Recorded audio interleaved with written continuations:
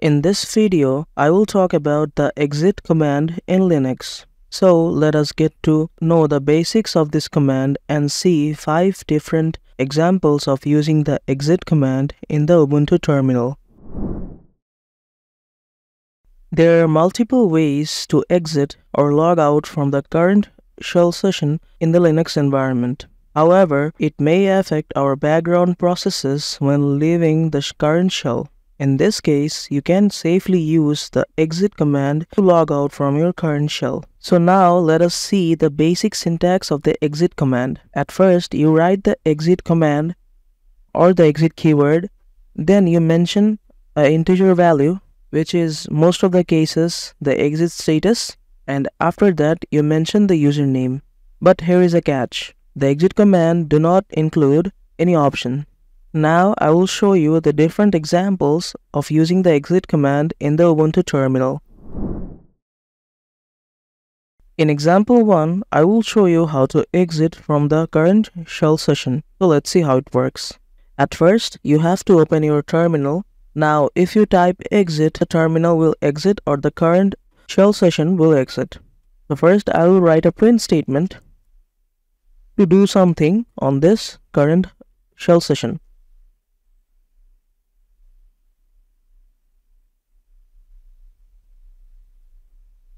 So now I will type exit. The terminal closes and the current shell session is lost. In example 2, I will show you how to exit from the root user's shell. So let's see how it works. At first, you need to open your terminal now you have to log in as the root user. So type the following command sudo space su. This will ask for your user password. So enter the password. Now you're logged in as the root user. So I'll just print a statement, something like this.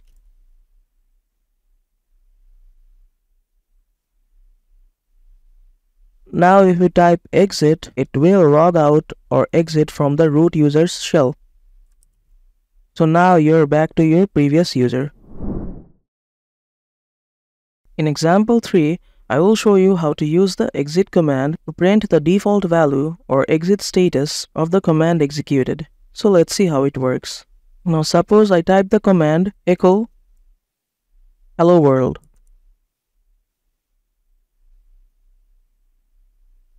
Then to display the exit status or default value of the previous command executed, I'll type echo then dollar sign and after that question mark.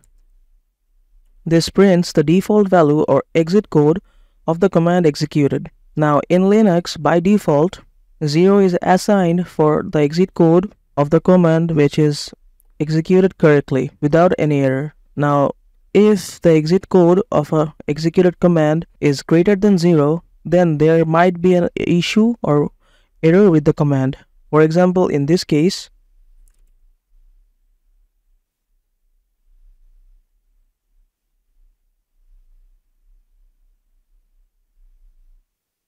it gives me the exit code value of 130, which means there might be an error or issue with the previous command executed which is this.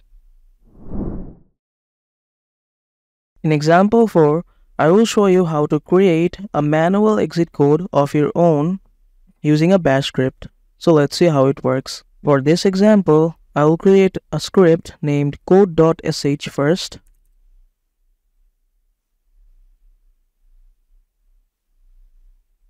Now over here, I will edit my script. So I will start with the shebang line first. Now I'll just write a simple print statement stating hello world. After the execution of this command, I'm setting the exit code to 60. Now my script is done, so I'll save it using Ctrl S and exit using Ctrl X. Now it's time to execute the script.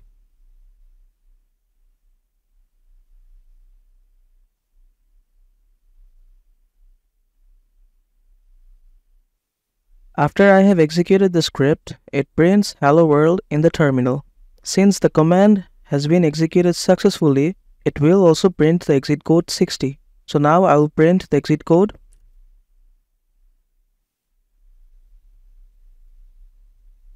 It prints the value 60 in the terminal, which I have set manually as exit code in the bash script.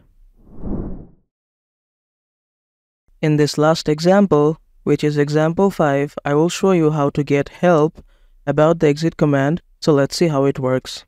So for this example, type the following command help exit.